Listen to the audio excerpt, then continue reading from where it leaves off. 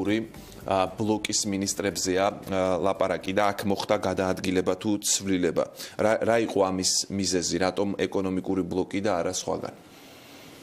გამიჭirdება ამ შემთხვევაში საუბრო პრემიერის ნაცვლად, თუმცა ის ცვლილება რაც მოხდა ეკონომიკურ ბლოკში, ესეც არის არა რეალურად ცვლილება გარედან, არამედ ცვლილება ისევ და ისევ გუნდის შიგნით. ანუ პირველი ვიცე-პრემიერი რჩება პირველ ვიცე-პრემიერად უბრალოდ ეკონომიკის მინისტრობიდან ფინანსთა მინისტრად.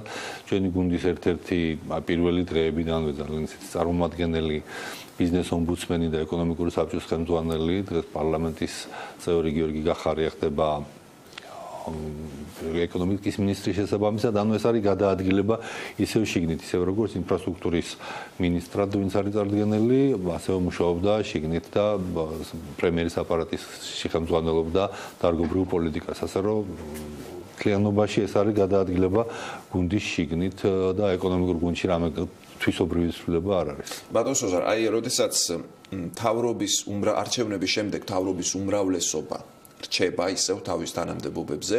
ეს ნიშნავს რომ მართველი გუნდის გზავნილია რომ ეს თავრობა იყო წარმატებული თავრობა ყველა მიმართულებით სადაც ministrები დარჩნენ.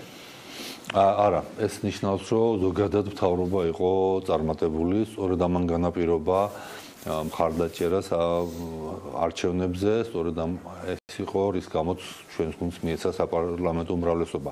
მოგეხსენებათ დღეს ჩვენ ვართ ფაქტობრივად არა ბოლომდე, მაგრამ მაინც ეს არის საპარლამენტო რესპუბლიკა, სადაც სწორედ პარლამენტი არის წარმართველი გუნდი და პარლამენტი და მთავრობა არის განუყოფელი ერთიანი გუნდი.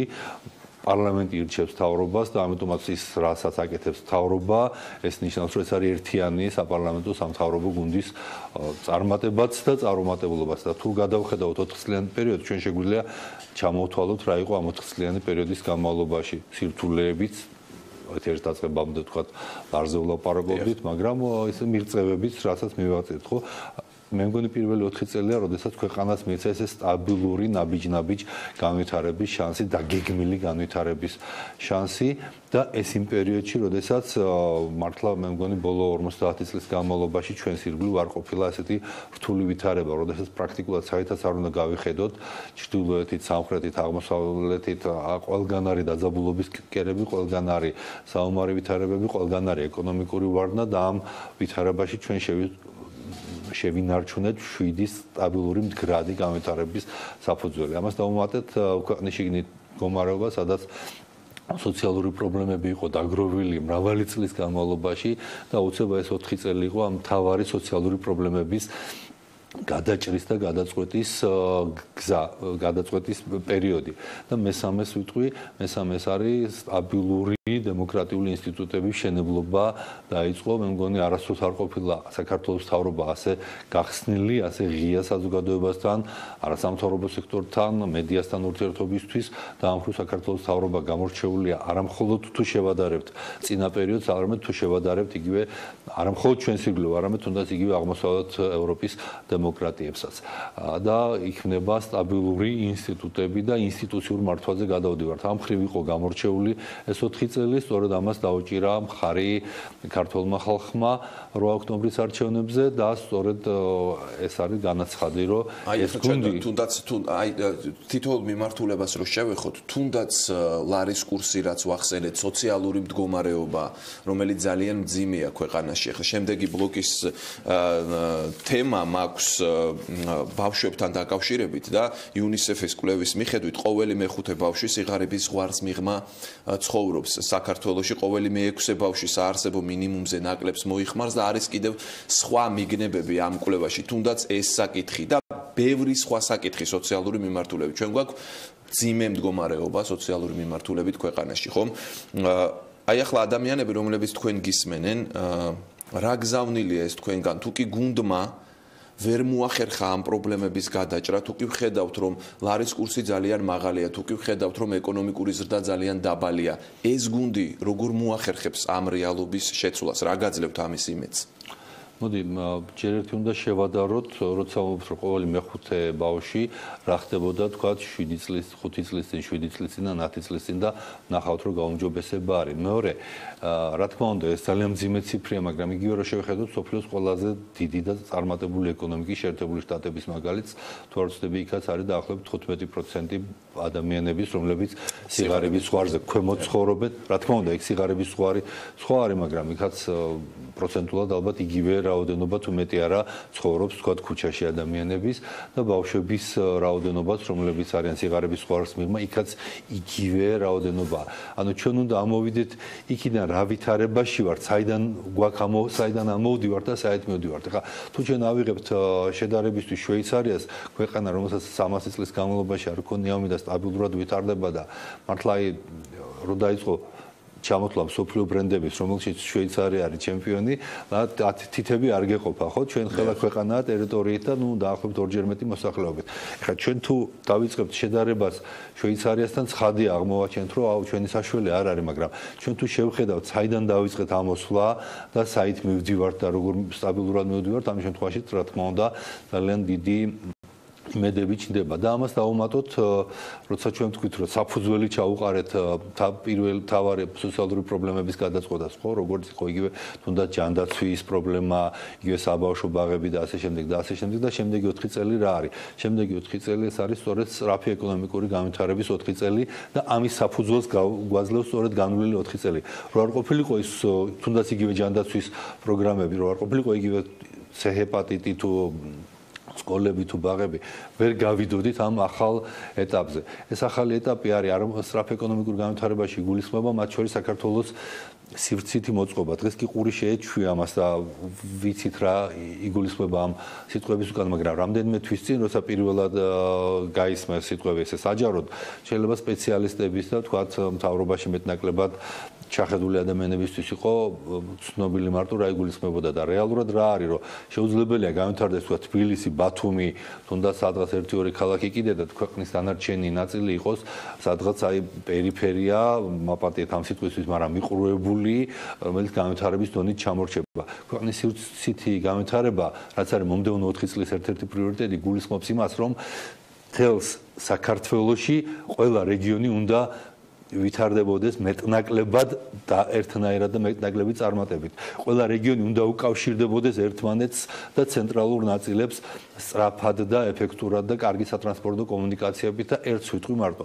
შეერთებულ შტატებში დამთავრდა 2 წლის წინ არჩევნები და ერთ-ერთი კანდიდატის ჰილარი კლინტონის თავარი საარჩევნო, ერთ-ერთი მთავარი საარჩევნო დაპირება იყო, რომ მისი გამარჯვების შემთხვევაში მთელს ამერიკაში, ისე ვიმეორებ, სოფლიოს ყველაზე დიდ ეკონომიკაში ის გააკეთებდა თავისი პრეზიდენტობის პერიოდში, რომ ამერიკაში ყოფილიყო ხელმისაწვდომის სწრაფი ინტერნეტი. ის რაც ჩვენთან უკვე დაწყებულია და რასაც ჩვენ ვაკეთებთ. და შეიძლება ადამიანს ახლა თქვენ ლაპარაკობდით რაღაც სოციალურ დაუცველებს ადამიანს, რომელსაც შია სიგარების ხარს კომენტარი, იმან თქვას, რომ მე რაში მჭირდება ინტერნეტი, მე პური მინდა, მაგრამ სწორედ ქვეყნის სწრაფ ეკონომიკური განვითარება გადის ქვეყნის სწრაფ ინტერნეტიზაციაზე, ქვეყნის სივრცითი მოწყობის განვითარებაზე, იმიტომ რომ ეს მოიტანს ხვალისოთის პურსაც, ქვეყნის თავდაცვის უნარიანობის გამტკიცებასაც, ქვეყნის განათლების სისტემის ადეკვატურობასაც, ეკონომიკურ ზრდაზე, რომელიც ჩვენ გვაქვს დაბალი. აი ეს არის ფაქტი, რომელიც ჩვენ გვაქვს ყველაზე მაღალი რეგიონში. ყოველთვის ისე და ისე გარემოდან უნდა ამოვიდეთ, ეს არის ამოსავალი. მაშინ, როდესაც ჩვენი ეკონომიკური ზრდა 10%-ის ფარგლებში იყო ჩვენს მეზობლებს კონდათ 14 და 15%. ანუ მაშინაც მაშინ ვიყავით ჩვენ უარეს მდგომარეობაში ვიდრე ჩვენი მეზობლები. და დღეს როდესაც ასეთი ძლიერი ეკონომიკური კრიზისია ჩვენს ირგვლივ და პლუს საომარი მოქმედებები ჩვენ ვახერხებთ თუნდაც ამ 3%-იანი ეკონომიკური ზრდის და 3 პლუს მინუს 3% ზრდის შენარჩუნებას და მომდევნო წლებში უკვე ეს უნდა გაიზარდოს ბატონ სოზარ აი რა სოციალური მიმართულება ძალიან მნიშვნელოვანია და ბევრწილად ალბათ ამაზე იქნება დამოკიდებული მომავალში მოსახლეობის და ამომრჩევლის განწყობაც. დემოკრატია ახსენეთ თქვენ ასევე კიდევ ერთი მიმართულება. ვინ გესახებათ ასე ვთქვათ შესწორების შეცდომების გამსწორებლად მიმთითი მიმთითებელად შეცდომების? როდესაც თქვენ გაქვთ ასეთი დიდი ძალაუფლება უკვე როდესაც ყველა გადაწყვეტილების დამოუკიდებლად მიღება შეგიძლიათ, როდესაც პარლამენტში წარმოქმნილ ნაციონალურ მოძრაობას არ მიიჩნევთ მაინც და მაინც კონსტრუქციულ და ისეთ ოპოზიციას, რომელთანაც შეიძლება რაღაც საკითხებში თანამშრომლოთ, ვინ უნდა იყოს, ასე ვთქვათ, დარაჯი, რომ ხელისუფლებამ არ გადაუხვიოს სადღაც სხვა მიმართულებით. კი ბატონო. მოდი თქვენი კითხვის არაარსებით ნაწილიდან დავიწყებ. აა ჩვენ არ ვამბობთ, რომ არა კონსტრუქციულად მიგვაჩნია ნაციონალური მოძრაობა, შეიძლება ესე ვფიქრობთ, მაგრამ ამას თვითონ ამბობენ. რეალურად მათ თქვენს თავისი ამოცანა რა არის? ამოცანა არის ყველაფერში ხელი შეგვიშალონ. ანუ რეალურად რას ამბობენ? თუ ჩვენ როცა ვამბობთ, რომ ჩვენი მიზანი არის ევროპული და ევროატლანტიკური ინტეგრაცია და რაც შეიძლება სწრაფად ვიზა ლიბერალიზაციის მიღება, ისინი ამბობენ, რომ ჩვენი მიზანია ხელი შეუშალოთ ამას. მე დავაზუსტებ მაშინ რას გულისხმობდი, ხო? აი, როდესაც ისინი თქვენ მიგითითებენ რაღაცაზე, ვთქვათ, ფიქრობენ, რომ თქვენ უშვებთ რაღაცას შეცდომას, რაღაც არასწორად გააკეთეთ, თქვენ ყოველთვის ეუბნებით, რომ თქვენ არ გაქვთ ამის მორალური უფლება, იმიტომ რომ თქვენ დროს ეს იყო უარესად. ანუ შესაბამისად თქვენ მათ მიერ წამოჭრილ აზრებს არ იღებთ, ხო? როგორ უნდა მიგვითითონ, როცა თვითონ ამბობენ, რომ მათი ერთადერთი ამოცანა არის არა კონსტრუქციული თანამშრომლობა, რომ უკეთესი ქვეყანა ავაშენოთ, არამედ ხელის შეშლა. ხელის შეშლა ჩვენ ავიქვამთ ქვეყნის განვითარებაში. და ამას აკეთებდნენ კიდევაც, ცდილობდნენ კიდევაც, ხო, როდესაც ისინი დარბოდნენ ევროპარლამენტის დერეფნებში და ცდილობდნენ, რომ საქართველოს არ მიიღო ვიზა ლიბერალიზაცია და უფრო ადრე კიდე ასოცირების ხელშეკრულება გასაგებია, რა ძალასთან გვაქვს საქმე, ასე რომ კონსტრუქციულ თანამშრომლობაზე თვითონ ისინი ამბობენ ვარს და შესაბამისად ეს საკითხი უნდა ჩავხსნათ. ვინ არის მიმთითებელი? მიმთითებელი არის ქართველი ხალხი, მომდევნო წელს არ უკვე თვითმართველობის არჩევნები, შემდეგ საპრეზიდენტო, შემდეგ აა საპარლამენტო ისევ, ასე რომ დღეიდან ჩართულია მომდევნო არჩევნების დღის წესრიგი მომდევნო არჩევნების იქნება კი საპრეზიდენტო არჩევნები? როგორც იქნება ისეთი იქნება. აა არჩევნების საათი ჩართულია და შესაბამისად ეს არის პირველ რიგში მიმთითებელი. მიმთითებელი არის პირველ რიგში სამოქალაქო საზოგადოება და მიუხედავად იმისა რას ფიქრობს თქვა სამოქალაქო საზოგადოების გარკვეული ნაწილი მე არ მეგულება სოფლიოში ქვეყანა სადაც პირველი უფრო მჭიდრო დიალოგი იყოს ხელისუფლებას და სამოქალაქო საზოგადოებას შორის მეორე უფრო მჭიდრო იყოს ან ისა უფრო კრიტიკული იყოს სამოქალაქო საზოგადოება და მომთხოვნი ხელისუფლების მიმართ და უბრალოდ რო ავიღოთ ევროპის ქვეყნები ხა დღე არ გავა ჩვენთან რომ რომელიმე ექსპერტი, რომელიმე არასამთავრობო ორგანიზაციის წევრი თუ ხელმძღვანელი არის ეს პირდაპირ ეთერში და მითითებებს არ გვაძლევდეს, ვინ სად დაუნიშნოთ და რატო დაუნიშნოთ და როგორი კანონი ავიღოთ, მივიღოთ რო შეხედოთ ევროპის ქვეყნებს და ან შეერთებული შტატების ტელევიზიებს შეიძლება თქვენ გავიდეს ისე რომ ასე ვერ ნახოთ სამოქალაქო საზოგადოების წარმომადგენლები რომლებსაც აქვს ეთერი გახსნილი და რომლებიც ესე ღიად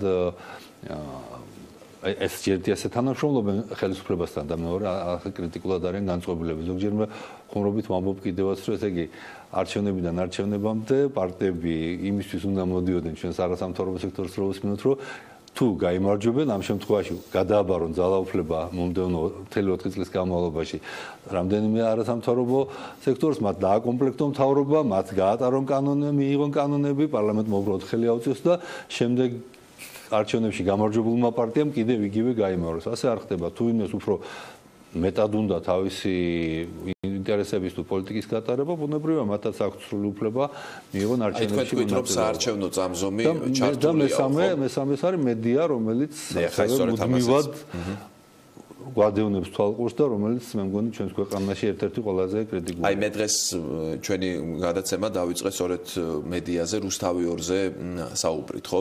აა როგორი გადაწყვეტილებაც არ უნდა იყოს, ეს გადაწყვეტილება უნდა მიიღოს სასამართლო, მაგრამ თუ კი რუსთავი 2-ის სარედაქციო პოლიტიკა შეიცვლება. თქვენი აზრით, ეს რა შეიძლება ნიშნავდეს საქართველოს სიტყვის თავისუფლებისა და დემოკრატიისთვის? კიდევ ერთხელ ვიმეორებ, სასამართლომ შეიძლება ან ისე ან ასე გადაწყვიტოს ეს დავა, მაგრამ თუ კი სარედაქციო პოლიტიკა შეიცვლება, იქნება თუ არა ეს უარყოფითი მოვლენა. უარყოფითი არის, როდესაც ხელისუფლება განსაზღვრავს საინფორმაციო საშუალების საინფორმაციო პოლიტიკას. და თუნდაც ის, რომ თქვათ, თქვათ შეიცვალა ხელმძღვანელი, თუ მფლობელი, რაც ქვია, და ხელისუფლება მოთხრა, რომ არა, იმისთვის, რომ არავინ არაფერი არ თქვას, დატოვე ის საინფორმაციო პოლიტიკა რაც ქონდა ხო აბსურდულია რა ხელისუფლებას არ აქვს უფლება ჩაეროს. თავარია იყოს თავისუფლება და დანარჩენი თუ რუსთავი ორი შეცვლის პოლიტიკას მის ადგილს დაიკავებს თქვენი თქვათ წევე პირველიდან რომელიც როდესაც ეჭვები ჩდება რომ ამ ყველაფრის უკან ხომ არ დგას ხელისუფლება. საქართველოსშიც და საზღვარგარეთაც. ეს არ არის ხელისუფლებისთვის პრობლემა?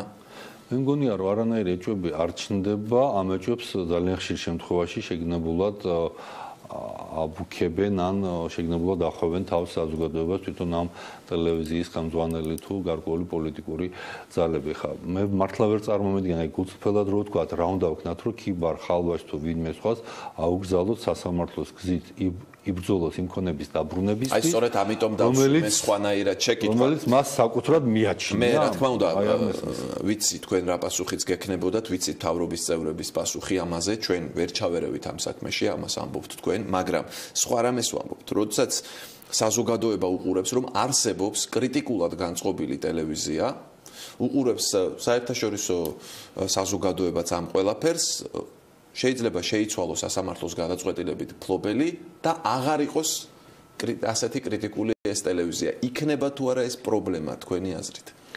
პრობლემა ისევ და ისევ გავიმეორებ, იქნება და ყოველთვის არის ის, როცა ხელისუფლება ერევა გარკვეული საინფორმაციო საშუალების სარედაქციო პოლიტიკაში. როგორ საერთოდ რომელიმე ახალი მფლობელი თუ ძველი მფლობელი თუ ხელისუფლების ცვლილების შესაბამისად გარკვეული ტელევიზია, რომელსაც იგივე მფლობელი დარჩა, რამდენად შეცვლის თავის პოლიტიკას, ეს ნორმალური ასე ხდება ყველგან რა. იგივე Fox News-ი არის კრიტიკული თუ დემოკრატები მოდიან ხელისუფლებაში და არის ნაკლებად კრიტიკული თუ კონსერვატორები არიან ხელისუფლებაში, ხო რესპუბლიკელები. და პირიქით, თქვა CNN-ი პირიქით იქცევა ხა.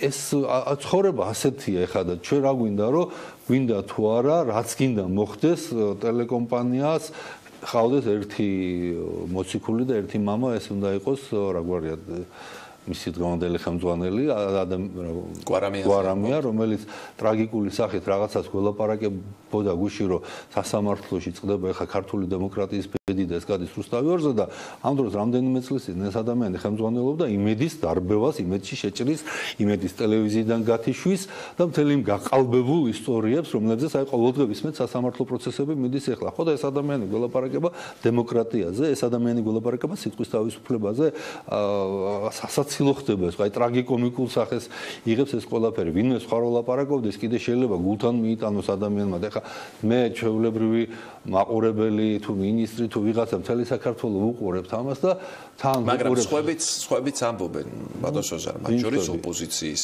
წარმომადგენლებიც, რომ ძალიან რთული იქნება ქვეყნისთვის თუ კი რუსთავი ორი სარედაქციო პოლიტიკა შეიცვალა. სხვაებიც ამბობენ, მარტო გვარამია. ეხლა რო გითხრათ, იმედი მაქვს არ შეიცვლება თქო, აი მაგასაც ვერ ვიტყვი, იმიტომ რომ არ ვიცით რა გადაწყვეტილებას მიიღებს სასამართლო და თუ შეიცვალა მფლობელი, როგორ დავავალდებულოთ ის მფლობელი, რომ გინდა თუ არა გვარამია დატოვა ხელმძღვანელად და გააგრძელოს სარედაქციო პოლიტიკა, რაზე მელაპარაკე მართლა არ მესმის და მეორე დღეს, როდესაც ტელევიზიის დაფუძნება არის 1 საათის საქმე, რომელსაც უკვე აღარ სჭირდება დიდი ფინანსები ხო? თქვენი ტელევიზია არის ბოლო-ბოლო ამის მაგალითი ხო? არა ეს არ არის რაღაცა მრავალმილიარდიანი და გინდა 10 მილიონიანი ტელევიზია თავის ბიუჯეტით და რამდენიმე თვის წინ ამ ტელევიზიის მაყურებელი არ მგონია ძალიან ბევრი ყოფილიყო და დღეს ერთ-ერთი სამყარო ტელევიზია გახდა. ხო როდესაც Facebook-ი თუ სხვა სოციალური ქსელები თამაშობენ სულ უფრო და უფრო მეტ როლს და შეიძლება გაცილებით მეტ როლსაც ვიდრე ტელევიზიები ხა დღეს ვლაპარაკობთ რომ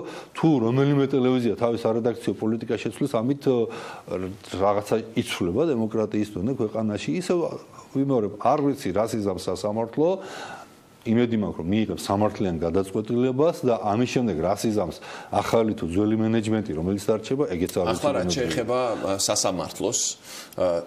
და მოდიშით მართლა რომ აი რასაც იმუქრებოდნენ კი ვიცოდით რომ ამის უკან არაფერი არ იდგა მაგრამ ჩამოვიდოდა სააკაშვილი, მოიგებდნენ ნაციონალები. თქვენ დარწმუნებული ხართ, რომ რუსთავი ორის სარედაქციო პოლიტიკა იგივე დარჩებოდა და თუ შეიცვლებოდა და უცებ გახდებოდა მეხოთბე ტელევიზია, ამით ესე იგი დაიღუპა ქვეყანა, სხვა იქნებოდა კრიტიკული მაშინ, ხო, აგე ну სააგაშვილის იქნებოდა ამ თემა უკვე ეს თქვენ იქნებოდა არ ვიცი ხო? მოდით სასამართლოზე მინდა გკითხოთ სასამართლოსთან დაკავშირებით ისევე როგორც სხვა საკითხებშიც ახლაც აი რეფორმების გასატარებლად გაქვთ სრული მანდატი საზოგადოებისგან ხომ?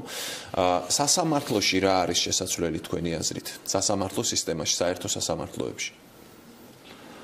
საერთო სასამართლოებში თავარი რაღაცა მე მგონი არის გაკეთებული, ეს არის არ არის პოლიტიკური დაწოლა და სასამართლო არის თავისუფალი, თუმცა არჩება უამრავი რამ, უამრავი რამეში არის თქო ისეთი ტექნიკური დეტალებიც, როგორიც არის საქმეების ელექტრონული განაწილება, რომ თავმჯდომარე კი არ წყვეტდეს, არამედ ელექტრონულად ხდებოდეს და ავტომატურად ხდებოდეს განაწილება და რაც მუდმივი პრობლემა იქნება, ეს არის მოსამართლეთა პროფესიონალიზმი, რომელიც რაც არ უნდა დაიხვეწოს, მუდმივად იქნება ზრუნვის საგანი, ისევე როგორც ნებისმიერ ფორეში. ძალიან მნიშვნელოვანია, როდესაც შესაძლოა ბევრი ბევრ საქმეზე სწორი გადაწყვეტილებები გამოვიდეს, მაგრამ ერთმა კონკრეტულმა საკითხმა შეიძლება სასამართლოს უდიდესი ზიანი მიაყენოს, ხომ? თუ კი საზოგადოება დაფიქრდება და ნახავს, რომ შესაძლოა აქ ისე არ არის ყველაფერი, როგორც გვეუბნებიან.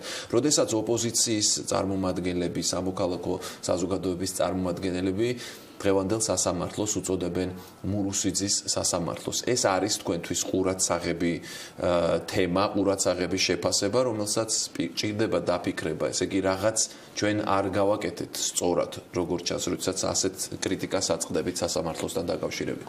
სწორად ამითი ვარ ჩვენ ძლიერები, რომ აი რაღაცა ჩვენ არ გავაკეთეთ სწორად ეს კითხვა ნაკლებად დაისმის, იმიტომ რომ ჩვენ ავირჩიეთ გზა ჩაურევლობის სასამართლოს საქმეებში. ჩვენი მიზანი არის სამართლებრივი ჩარჩო გავასწოროთ, მაგრამ შიგნით ჩარევა უნდა იყოს მინიმალური და ეს არის მე ვფიქრობ ყველაზე სწორი გზა ამ შემთხვევაში. ორჯერ მოხჩატარდა სააგაშვილის მიერ ორჯერ ჩატარდა სასამართლო რეფორმა. ერთხელ როდესაც ეს იყო უმრავლესობის ლიდერი მოქალაქეთა კავშირში და იურჯერ იურიდიული კომიტეტის თავმჯდომარე მე უმრავლესობის ლიდერი შევარდნაძის პრაქტიკულად ყველა მოსამართლე გაყარა სასამართლოდან და შემდეგ როდესაც გახდა პრეზიდენტი, ისევ ყველა მოსამართლე გაყარა. მე მგონი ეს გზა არ იქნებოდა სწორი და ის ადამიანები, რომლებიც ხეს ვიკიჟინებენ, რატო დატოვეთ ვიღაცაო, წარმოგიდგენიათ რა ამბავს ატეხავდნენ, როგორც კი ამ გზით წავიდა. მოდი ასეთი რამ თქვა ბატონ სოზარ, აი სასამართლო აღმასრულებელი და სასამართლო ხელისუფლების თქვა რაღაც უკანონო თანამშრომლობაზე თუ ვისაუბრებთ, თუ კი მოსამართლეები ამას აკეთებდნენ წარსულში. რატომ არ გააკეთებენ ახლა? ან აღმასრულებელმა ხელისუფლებამ რატომ უნდა თქვას უარი იმაზე, თუ კი კიდევ ერთ შტოს დაიქვემდებარებს, ხომ? აქ ძალიან ძნელი ადამიანებმა ირწმუნონ, რომ ვიღაცა გაუძლებს ცდუნებას, რომ არ დაიმორჩილოს სასამართლო ხელისუფლება, ხომ?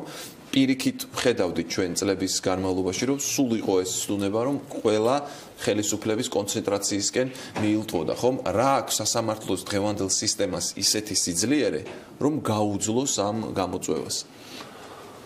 პირველ რიგში პოლიტიკური ნება ჩვენი გუნდის რო ეს არ გაკეთდეს და მეორეც ეს კითხვები ყოველთვის შეიძლება დარჩეს და ამ ეჭვებში მუდამ შეიძლება ვიყოს. ამიტომ უნდა ვილაპარაკოთ მაგალითები. და მაგალითს გეტყვით ასეც.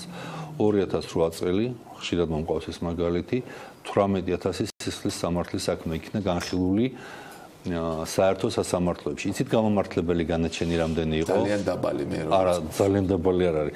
1 18000 საქმედან ერთი გამომართლებელი განაჩენი. კონკრეტულად 2008 წელზე ამ. 2008 წელს, იმიტომ რომ ერთი იყო იმ წელს. დანარჩენ წლებში იყო 7, 5, 9. 1%-ზე ნაკლები. 1%-ზე ბევრად ნაკლები. 0.001% იყო.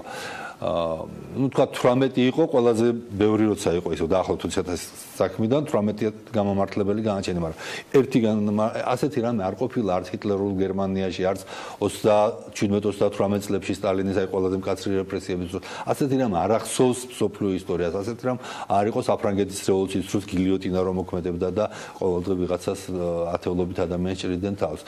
აა ეს იყო შევარდნა ისა სააკაშვილის სასამართლო. და თქვენ შეადარეთ დღევანდელობა ალბათ რამდენი გამომართლებელი განაჩენი დგება მათ შორის ხელისუფლებისთვის რომ აი ძალიან სენსიტიური შეიძლება იყოს ესეთ თემებს. ეს ეს ეს არის განსხვავება და აი აქიდან ამოვიდეთ და აქიდან ჩანს დღევანდელი ვითარებას და ბოლო ბოლო შეკითხვა მინდა დაგისვა რომ ვიღაცა ვიღაცას ურეკავს ყოველთვის შეიძლება გქონდეთ ბოლო შეკითხვა მინდა დაგისვა ჩვენი დრო იწურება. პირველი 4 წლის განმავლობაში ქართული ოცნების მართლობისას ძალიან ხშირად იყო ის ის მეთოდი, რომელსაც ახლა მიმართავთ თქვენ, რომ ადარებთ, თქვათ რა იყო მანამდე და რა არის დღეს, ხომ? ორი ახლა უკვე მეორე ვადით მოხვედით. მე საფრანგეთის რევოლუციასაც შევადარე რა ვიცი. კი ბატონო. ახლა მოხვედით უკვე მეორე ვადით. თქვენი აზრით ამ მომრჩეველი ამას ამ შედარებებს ელოდება? კლავ რომ შეადარებთ თქვათ რა იყო სააგაშვილის პერიოდში. თუ უკვე ელოდება სულ სხვა მონაცემებს, ელოდება სხვანაირ წინსულას და სხვა შედეგებს და აღარ მიიღებს იმას, რომ ისევ რაღაც შევადაროთ სააგაშვილის პერიოდს. მოდი, თუ ამ კონკრეტულ მაგაც ვილაპარაკებთ, მე მგონი არნაირი შედარება აქ არ ყოფილა, იმიტომ რომ თქვენ ამბობთ, რომ მოსამართლეები იგივენი არიან, ანუ თქვენ ადარებთ და რატო იქნებიან თავისუფლები? მე გეუბნები, რომ მაგალითებიდან ჩანს, რომ თავისუფლები არიან. პრაქტიკულად აბსოლუტურ უმრავლესობაში აუკვეთ ღონისძიებები პროკურატურა შედის აუკვეთ ღონისძიების მოთხოვნა პატიმრობით ისინი გამოდიან გირაოთი მოსამართლეები გირაოს უფარდებენ რაც არ ხდებოდა ძველ დროს აქედან ჩანს განსხვავება აა გეუბნებით რომ არის უამრავი გამომართლებელი ათეულობით და ასეულობით გამომართლებელი განაჩენი მაშინ როცა იყო ერთი გამომართლებელი განაჩენი მთელი წლის განმავლობაში. აი ეს განსხვავებაა და დანარჩენი ხა როცა ვლაპარაკობთ სასამართლოს თავისუფლებაზე, სხვა რას უნდა შევედაროთ? გითხარით კიდე 37 წელსაც მაგრამ შესაძლოა, აი მე სწორედ ამიტომ ახსენე, შესაძლოა იყოს რაიმე ერთი საქმე, თუნდაც რომელმაც დიდი ზიანი მიაყენოს სასამართლოს პრესტიჟს, ხომ? აა შესაძლოა რაღაც საქმეებზე სახელმწიფოს არ კონდეს ასეთი დიდი დაინტერესება და ხელისუფლებას, მაგრამ იყოს რაღაც პრინციპული მნიშვნელობის საქმეები, სადაც ჩდება ეს ეჭვი, ესე იგი აქ რუსთავი ორის საქმე ვახსენეთ ჩვენ ვახსენეთ კაბელების საქმე და ამ საქმესთან დაკავშირებით პრეტენზია უჩნდებოდა უკვე თქვენი მომავალი მთავრობის წევრსაც ვიქტორ დოლიძეს რომელიც თქვენს მთავრობაში იქნება კაბელების საქმესთან დაკავშირებითაც არ არსებობს არანაირი ეჭვი, რომ შესაძლოა იქ რაღაც არ იყოს თვალსუსტად. საქმეს არ ვიცნობ ესე ძირეულად, მაგრამ რამდენადაც ვიცი და ვიცი სპეციალისტები და ამ საქმეში მტკიცებულებები არის საკმაოდ მყარი. რაც შეეხება რუსთავიორის საქმეს, უბრალოდ ხა საქმის დეტალებში არ შევალ.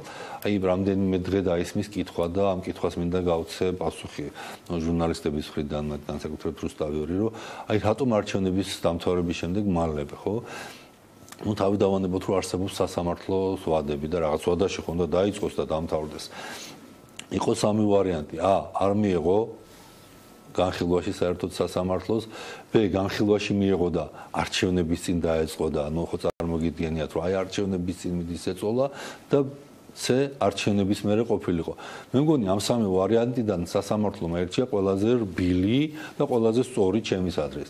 პოლიტიკურად ყოველ შემთხვევაში ყველაზე სწორი და ისედაც რომ რუსთავიორს არ ეგზნო არჩევნების წინ რომ მასზე არის ეწოლა და საზოგადოებას არ ეგზნო და აქაც კი კითხები დაისვა და აქაც კი განგაშის ზარები შემოკრეს რომ რატო არჩევნების შემდეგ და აბა ის ჯობდა რომ საერთოდ არ მიიღო განხილვაში თუ არჩევნების წინ გამოეტანა გადაწყვეტილება და ეს კითხები თუ გვინდა რომ აი თვალი არ გაუსწოროთ ჭეშმარიტებას და მუდმივად რაღაცა ეჭვები გავაჩინოთ, კითხები ყოველთვის დაისმება, მაგრამ რაღაცა ლოგიკა ხო აქვს სასამართლოსაც, ქვეყნის განვითარებასაც, რა ვიცი, დემოკრატიის ხარისხის გაზომვასაც, ყველა გაზომვადი ხარისხით საქართველოში დემოკრატიის ხარისხიც იმატებს, ეკონომიკური თავისუფლების ინდექსიც იმატებს, ყარი განვითარების საფუძვლებიც იმატებს და რა რას შევედაროთ კიდევ? აი რა კრიტერიუმი უნდა გქონდეს? კიდევ თქვათ რომ კი არის ერთი კრიტერიუმი არის შვეიცარიაში